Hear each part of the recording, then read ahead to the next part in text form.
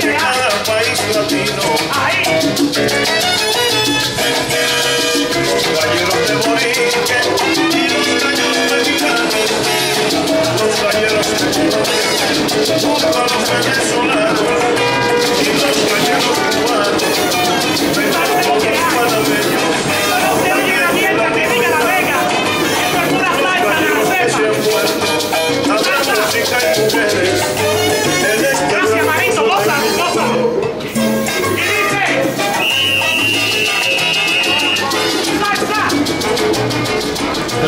Friends and fans, our worldwide audience. It's James Kalm, the guy on the bike, coming to you from the Metropolitan Pavilion, 125 West 18th Street.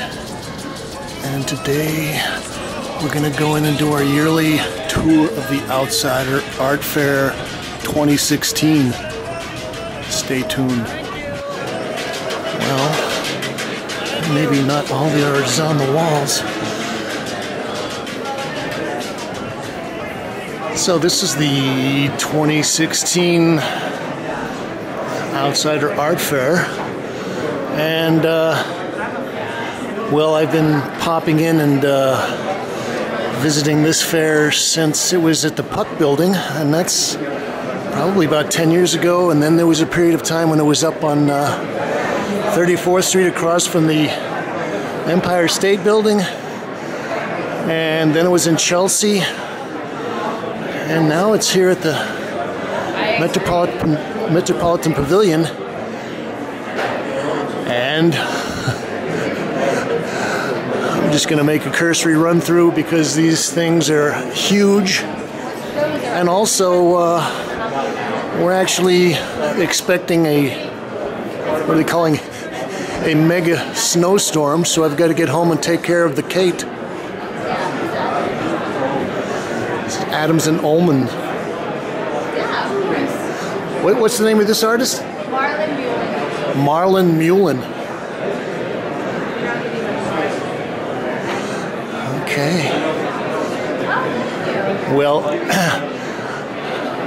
if you've uh, watched some of my other reports, uh, I usually have a little discussion or at least a little kind of uh, editorial statement about uh, outsider art and uh, its relationship to, I guess you'd call it contemporary art. This is just folks from Summerlin, California. Well, they've got a very impressive uh, show to, right now at the uh, American Folk Art Museum and it's uh, Jean Dubuffet in the original collection of Art Brut, and uh, sort of get into the whole history of how Art Brut came to the United States. Initially, Jean Dubuffet. This is a nice piece by Eddie Ehring. Eddie Arning. Like uh, print on paper.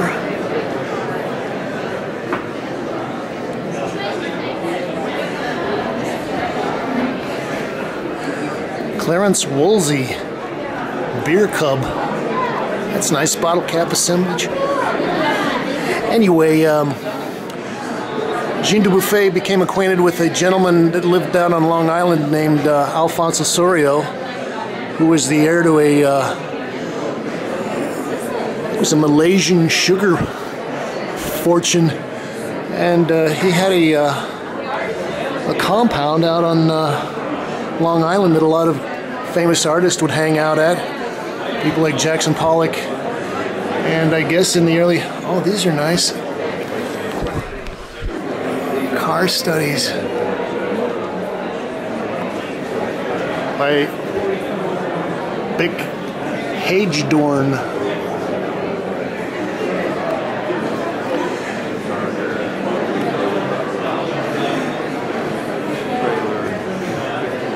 Thornton Dial. Well,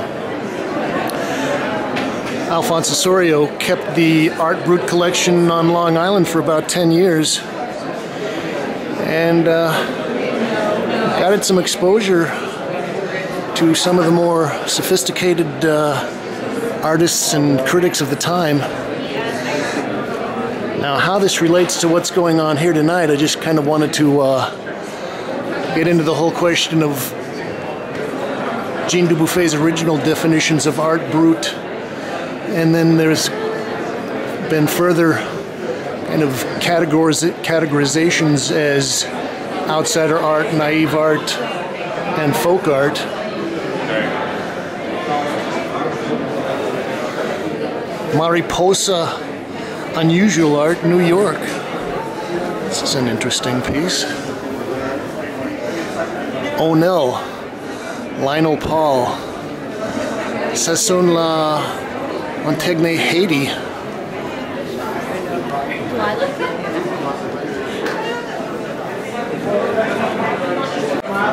This is the Joshua Lowenfeld from New York. Well, one of the things that happened with uh, Dubuffet is that once he started uh, collecting the work of, well, a lot of them were mental patients and prisoners and self taught artists. And other artists started seeing that these people were getting a lot of attention. Of course, they all flocked to Dubuffet and asked to be included in the uh, Art Brut collection. And then at some point, Dubuffet had to kind of uh, narrow down his categories and decide exactly who was an outsider or who who was real art brut and who wasn't. And he came up with a new category, something like uh, inventions nouveau, something like that, because he wanted to s- distinguish between. Uh, the real art brut, the totally untrained, untouched by uh, the art culture people and other types of artists. These are pebble heads, carved limestone found in Prescott, Arizona, 1900. Oh, that's interesting. More Thornton Dial.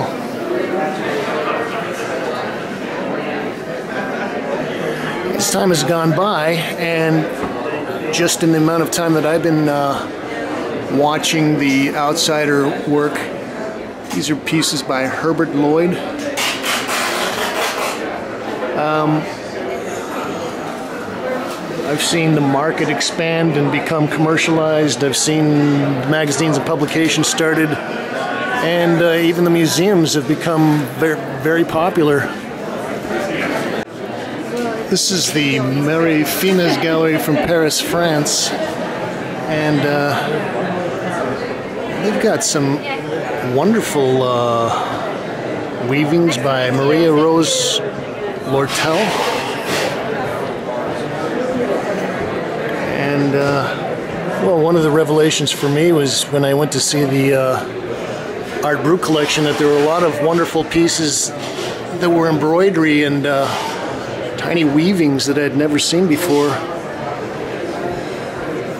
Those are nice or by Marie Rosa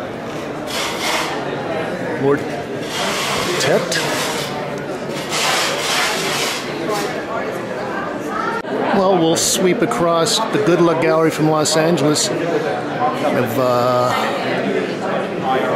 enjoy these hanging pieces like macrame gone wrong. It's by Art Mora, mixed media, various sizes.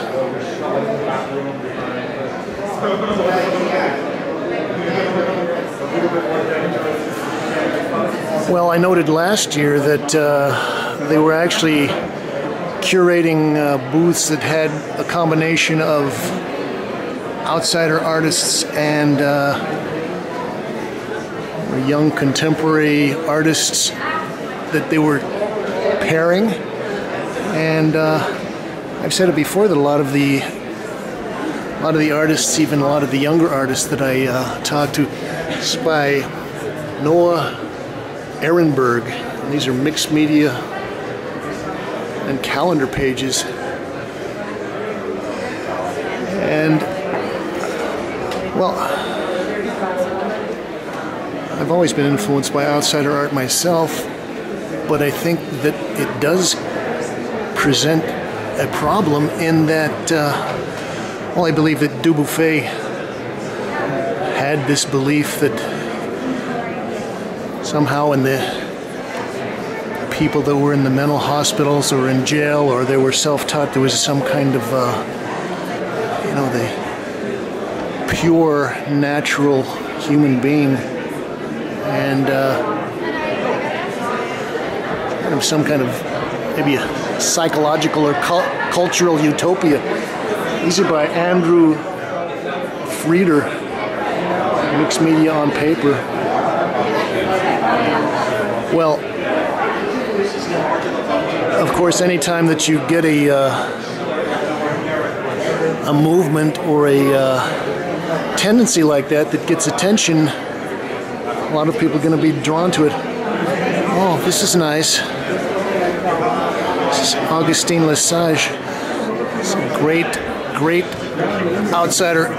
Actually started out as a coal miner and uh, had a revelation and uh, a voice inside his head told him to go out to the, the art supply store and buy a certain kind of paintbrush and paints and and then at some point he became known as kind of a um, trance painter.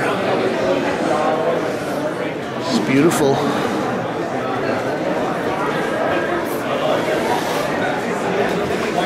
This is the Paulisme Gallery des Nans. Marseille, France, and Danville, Canada. And uh, yeah, somehow I was attracted to these pieces. They don't have a name tag on the wall, but I like the uh, folded paper.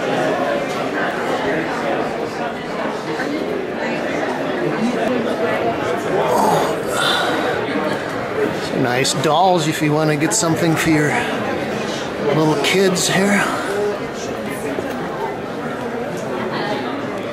This is Gallery Bonnier, St. Louis, Missouri. Well, I think another interesting thing about uh, the Art Brut outsider art, however you want to label it, is that uh,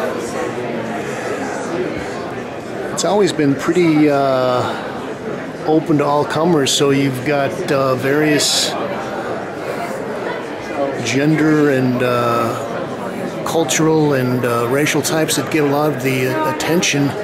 It's not exclusively, you know, limited to uh, educated white folks. This is an interesting piece. Let's see if I can read the tag there. The artist by Johnny John Barton. He's in his 30s now. Craig is, what? He's in his 45. 45? Yeah, he's 45. What? He's 45? He's getting older now. Yeah, he's getting older. I guess I met him when he was. This is a very interesting coloristically. This is Yeah, you can. He's in his 40s. Katsarangia Working. Galowa. Oh boy, this lady lived to be 107 years old, 1896 to 2002 from Poland. This is about. This is about social. Justin McCarthy, This is this was probably a soldier series he did. Robert St. Bryce. He does a series of themes. Oh, gee, right here by the uh, entrance, we've got a uh, very nice uh, selection of sculptures by the great Lonnie Holley.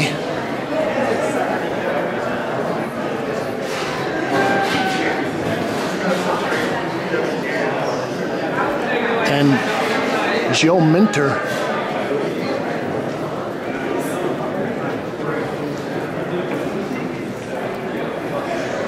Well, I first uh, came in contact with the work of Lonnie Holley when I was visiting Atlanta and uh, dropped in to see the uh, the Arnett collection. I visited the warehouse, and uh, Bill Arnett gave me the tour. And uh, well, you can go and see it. It's all on James Comfile, and he introduced me to Lonnie Holley at that point, and uh, well, it's been great because I've uh, kind of kept an eye out for him, and uh, it seems that uh, his career is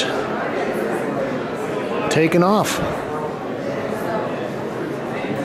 Well, we'll sort of trot through an exhibition, a memorial exhibition of the work of Lionel Talpazan.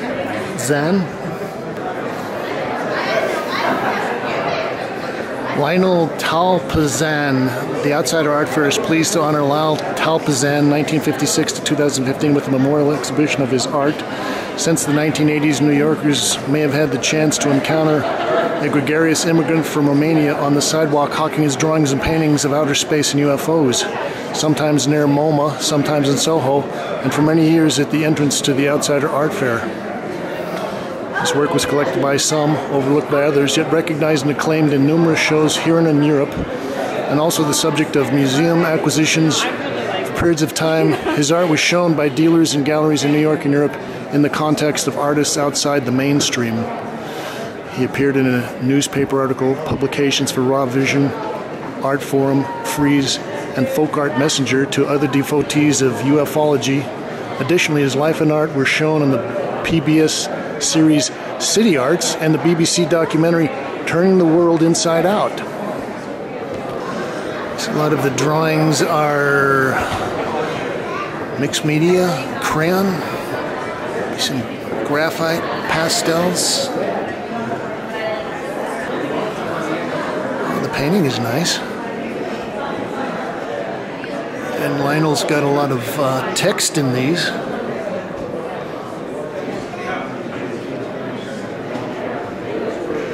I don't read French. I can barely read English.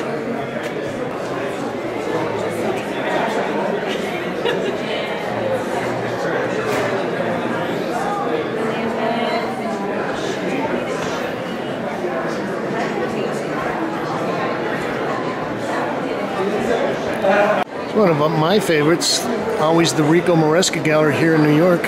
And uh, we've got some text pieces here by Ken Grimes. Is this a warning? The name John White is found with the signal from a race of dead aliens. Show me some other.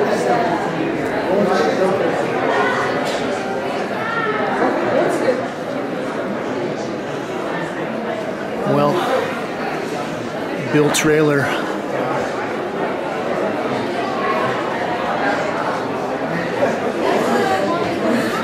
One of the things I, I like about Bill Traylor is uh, I don't know where he gets this, but this particular ultra blue and his very simple drawings is always extremely nice.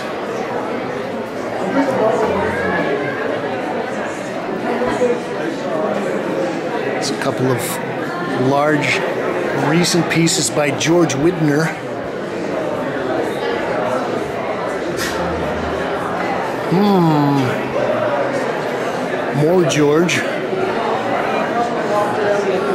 George is a good example of one of the um, recently discovered outsiders who has become a very successful and in a lot of ways is probably an insider now. But a lot of these are dealing with dates and days of the week. Always like the way he, uh, oh, he's using some kind of paper that he pastes together.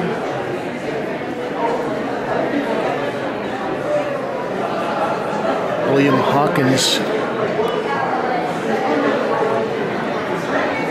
We've got a wonderful selection of Martin Ramirez drawings here.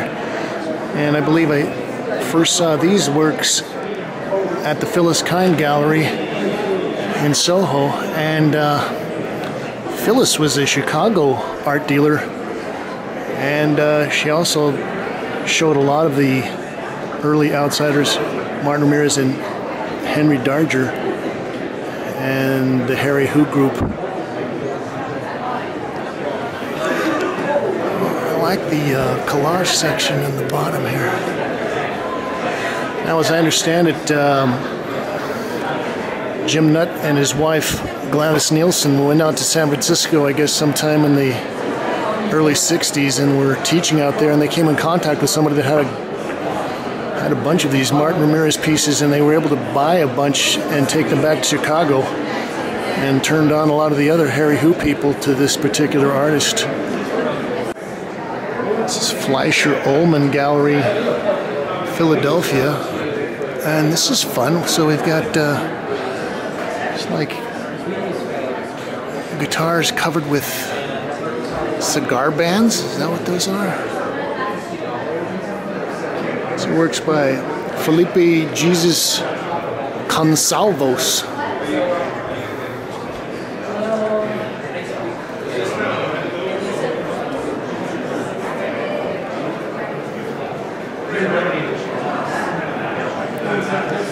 And the violins are nice, and uh, gosh, the little cases are all totally covered as well.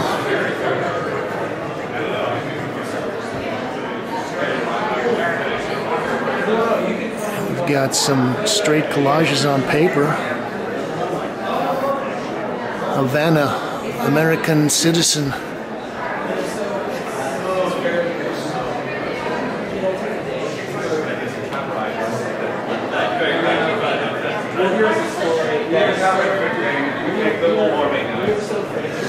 Would be interested in knowing uh, the time frame for these. Let's see if they've got anything on the wall labels. So it's saying these pieces are circa 1920 to 1950. So that narrows it down to a 30 year time frame.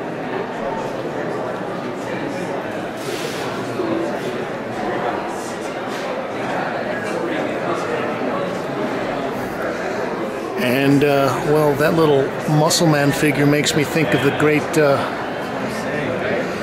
Richard Hamilton. Uh, why is the modern kitchen different than all others? Or one of the first examples of British pop art. It's just nice. Felipe Jesus Consalvos.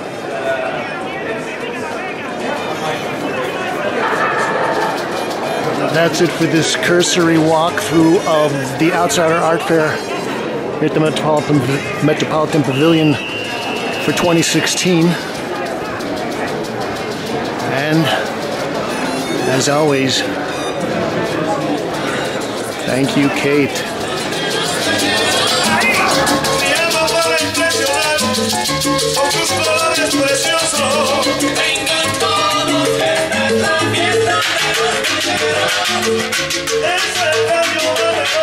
Thank you.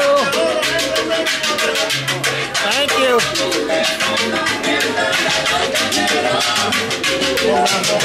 Wait, wait, wait. Salsa in New York City, 43, Brooklyn.